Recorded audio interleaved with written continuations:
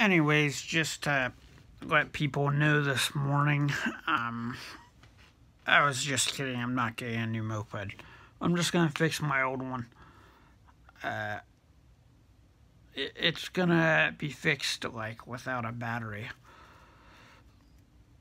Anyways, I'm I'm in the process of you know rewiring the fuel system on it. Um, but you know the person who did break it, uh, break the stator assembly, did piss me off. And uh, he's the Asian guy that always sits there.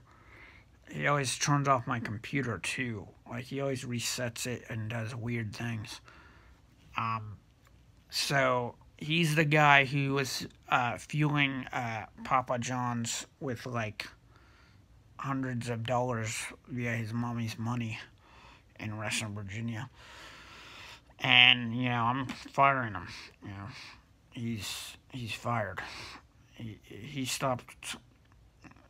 Or I fired him. Like he's he stopped. Uh, like I was doing the delivery for him, and he was paying the money, but he's he's been fired. So that's change. You don't screw me because I'm gonna screw you back. You know, did I wreck the company van, for instance? No, he did, technically. And he didn't pay a cent. So, okay. So that's a lot of money that's going to be lost annually to, to uh, Papa John's in this area.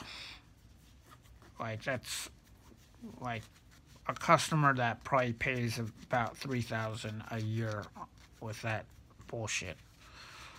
So I, I lose five hundred.